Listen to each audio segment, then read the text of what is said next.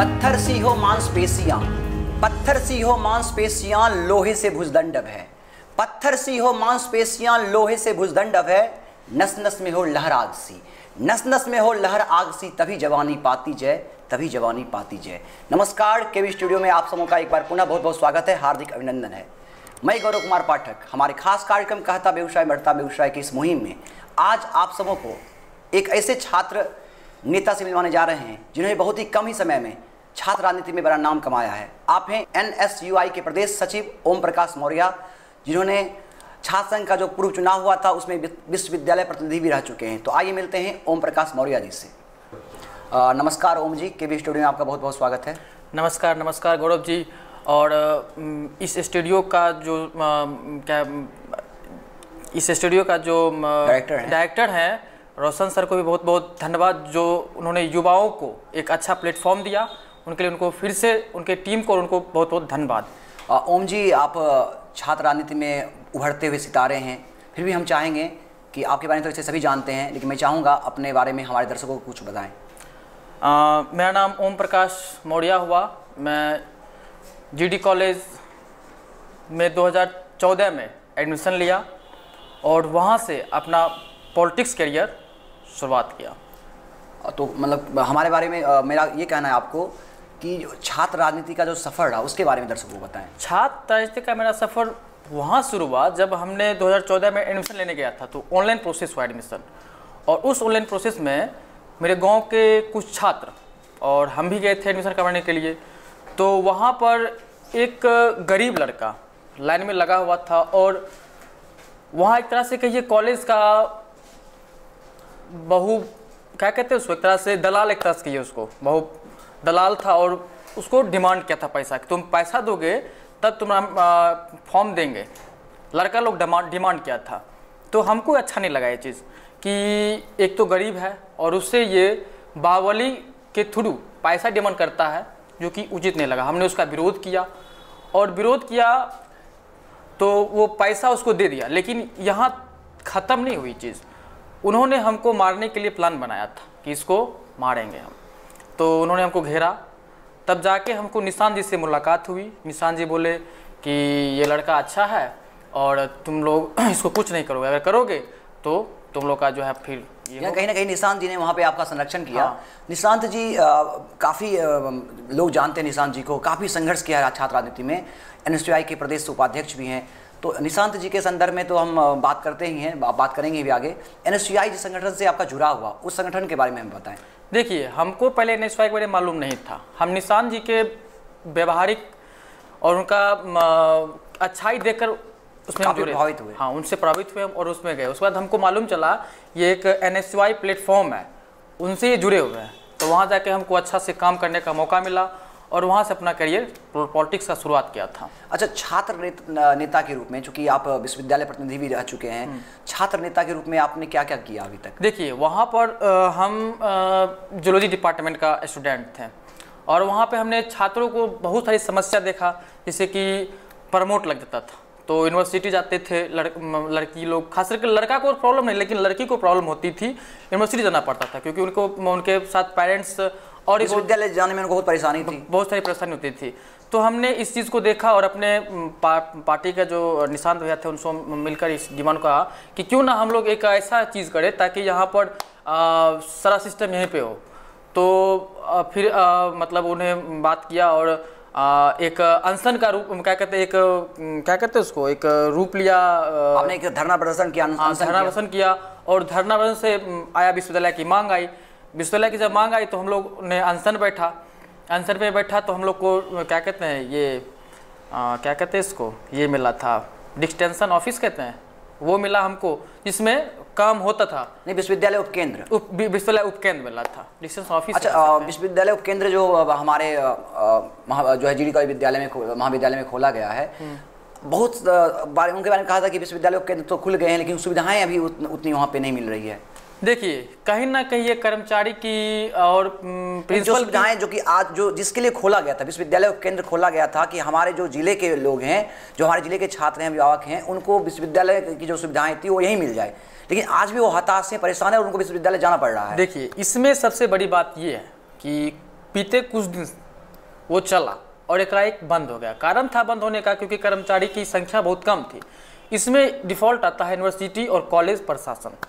इसीलिए वो बंद हो गई। आपको नहीं लगता कि आप, आपने कहा कि छात्र कॉलेज प्रशासन हो या विश्वविद्यालय प्रशासन हो उसकी लापरवाही के कारण ऐसा हुआ है? हाँ। आपको नहीं लगता कि जब कभी कोई मुद्दा होता है किसी विषय को लेकर हम लोग अचानक एक मन लोग एक समूह बनाते हैं अनशन करते हैं धरना प्रदर्शन करते हैं वैचारिक विरोध करते हैं और वो उसका सुधार होता भी है फिर हम लोग हम लोग अपने आप को लापरवाही और बेपरवाही के कारण इस तरह की जो सामना करना पड़ता है। लापरवाही हम लोग को नहीं कहिए हम लोग उसको सुचारू रूप से शुरू करवा बंद हो गए हैं वो विश्वविद्यालय देखिए हमारा काम है चालू करवाना। चालू करवाना मेरा काम है उस पर मेरा धरना करना काम है कि ये चीज़ नहीं है। छात्रों की समस्या को लेकर हमको उस पर आवाज़ उठाना है और आवाज़ उसको वहाँ पे स्थापित करना है। चलाना काम गवर्नमेंट की है। चलाना काम वहाँ के प्रशासन की है। हाँ, हम हम बस आपसे ये कहना चाह रहे हैं कि जब वो अगर बंद हो गया है तो हम चाहते हैं जो भी छात्र संगठन जितने भी छात्र संगठन हैं चूँकि विद्यालय महाविद्यालय का जो यह है छात्र उपकेंद्र यह छात्रों के हित में है। और ये सबका है तो सभी संगठन मिलकर इस पर आवाज़ उठाए और पुनः उसको शुरू किया जाए। हम उपकेंद्र की बात इसमें हम लोग चाहते हैं यूनिवर्सिटी हो जाए। निश्चित रूप से सभी यूनिवर्सिटी हो। जाए ताकि ये उपकेंद्र का मांग ही हम लोग खत्म हो जाए। उपकेंद्र का काम झंझट ही खत्म हो जाए। यूनिवर्सिटी अगर बन जाती है हम लोग को फ़ायदा निश्चित रूप से आप सभी हमारे जितने भी जनप्रतिनिधि हैं हम सभी संगठनों से भी यह मांग करते हैं कि निश्चित रूप से बेगूसराय में विश्वविद्यालय दिनकर के नाम विश्वविद्यालय हो। अच्छा छात्र नेता के रूप में तो आपने काम किया भी है। सामाजिक कार्यकर्ता के रूप में एक युवा समाज के लिए धरोहर है समाज के हित में जब उसकी भूमिका हो तो निश्चित रूप से समाज का परिदृश्य बदल जाता है। सामाजिक कार्यों में भी आपकी बढ़ चढ़ कर हिस्सेदारी रही है। रक्तदान जो कि किसी के लिए जीना अपने लहू से किसी को जीवन देना उस महादान में भी आपने अपनी भूमिका दी है। कई बार आप रक्तदान कर चुके हैं। तो इसके बारे में दर्शकों को बताएँ। देखिए हमने रक्तदान का शुरुआत इसलिए किया क्योंकि हमारे सामने में हमने देखा, कुछ पेशेंट को मतलब कुछ क्या, एक पेशेंट को मरते हुए देखा, खून की कमी से मरते हुए देखा। उसमें मैं तकरीबन बारह साल का था। हमको अच्छा नहीं लगा। हमने डॉक्टर को बोला भी कि, क्या सर, मैं अभी ब्लड दे सकता हूँ? तो उन्होंने कहा, तुम अभी बालक हो, तुम दे नहीं सकते हो, तुम, तुम्हारा एज नहीं हुआ है। तो उसमें हम रो गए अच्छा नहीं लगा। लेकिन फिर जब हमें वैसा वक्त मिला और मेरा एज हो चुका था, तब मैंने रक्तदान शुरू किया और अभी तक पाँच से छः बार रक्तदान मैं कर चुका हूँ। अच्छा, और हमको ये करने से बहुत खुशी मिलती है। चूँकि दर्शक यहाँ से सुन रहे हैं युवा आपको सुन रहे हैं रक्तदान को लेकर तरह तरह की भ्रांतियाँ हैं रक्तदान करने से। ऐसा चूँकि ये भ्रांतियाँ ऐसा है नहीं इसमें मैं इसको इसको समर्थन नहीं करता चूँकि ये हकीकत नहीं है कि रक्तदान करने से युवाओं का जो है शरीर कमज़ोर होता है या कोई डर इस तरह से बहुत सारी बातें हो जाती है समाज में उसको नकारात्मकता के रूप में जो है भावनाएँ पैदा करता है। आपको जब रक्तदान कर रहे थे तो कोई जो है परेशानी भी हुई या देखिए। आपके परिवार या किसी ने आपको इसके लिए मना भी किया? नहीं रक्तदान करने से हमको कोई प्रॉब्लम नहीं हुई। जहाँ तक मेरे शरीर को बेनिफिट मिला और मेरे परिवार वाले विरोध नहीं किए उन्होंने हमको अच्छा युवाओं को चूँकि आप सामाजिक कार्यकर्ता हैं रक्तदान के संदर्भ में आप क्या संदेश देना चाहेंगे? रक्तदान करेंगे तो उनको फ़ायदा मिलेगा बेनिफिट मिलेगा। रक्तदान एक महादान है इसको करना भी चाहिए। विभिन्न विभिन्न सोशल मीडिया के माध्यम से मैंने देखा है कि आप नेत्र जाँच शिविर में भी आप जो भी संस्था इसको लेकर कराती है उसमें भी आप सक्रिय रहे हैं।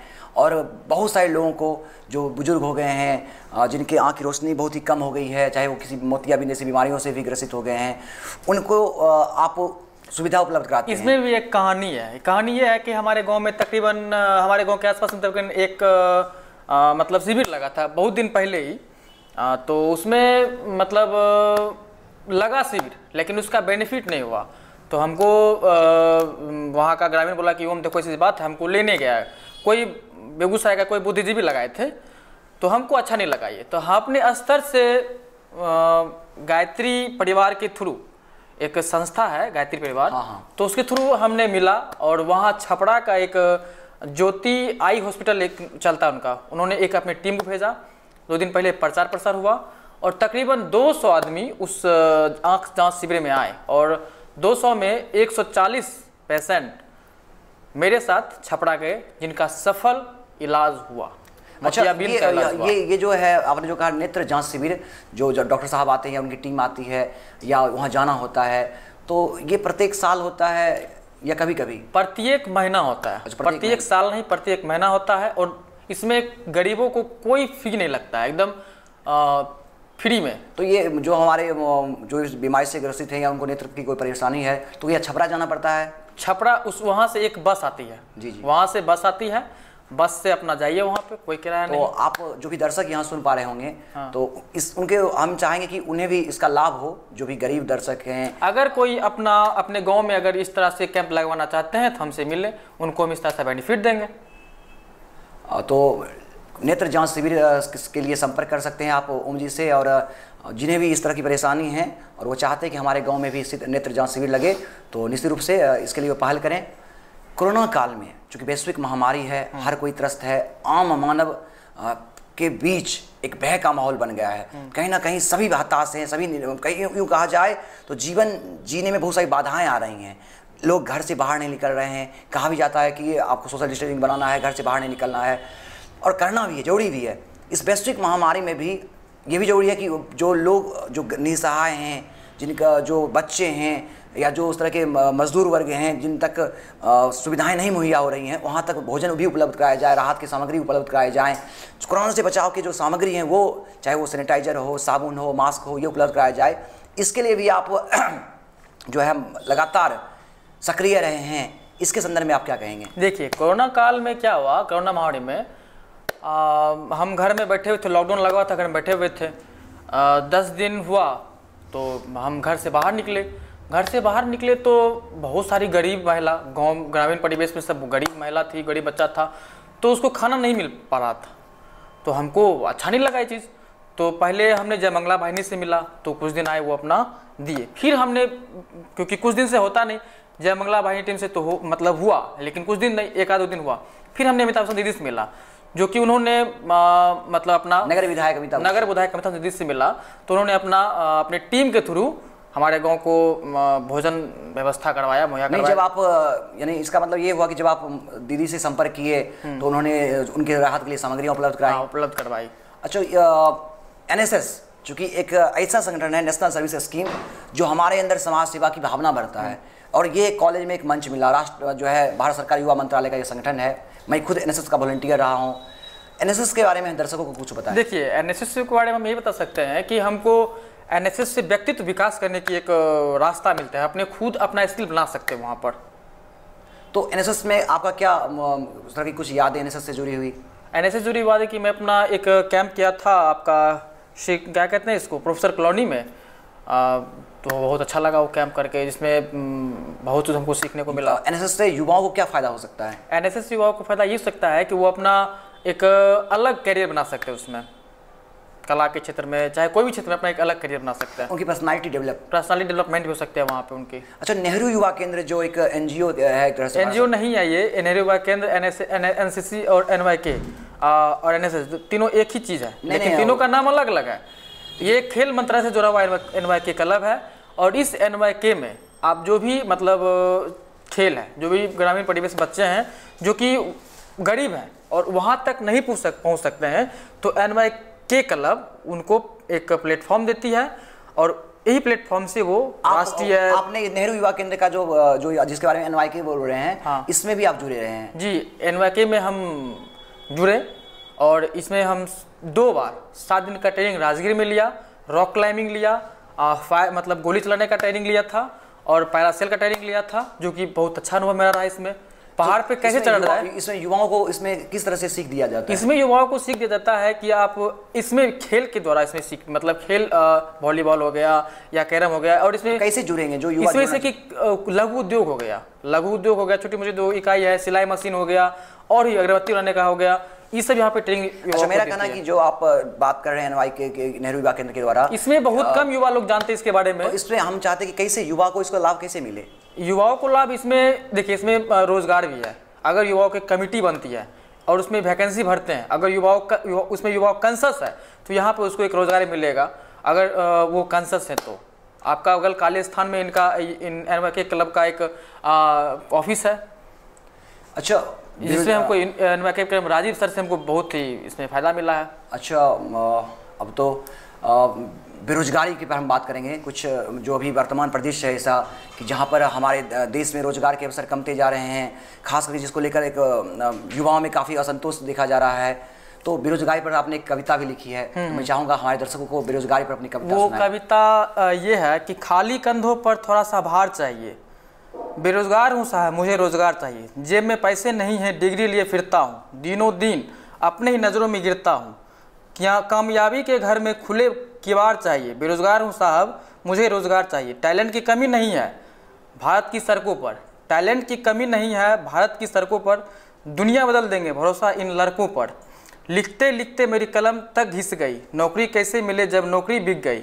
नौकरी की प्रक्रिया में अब सुधार चाहिए। बेरोजगार हूँ साहब मुझे रोज़गार चाहिए।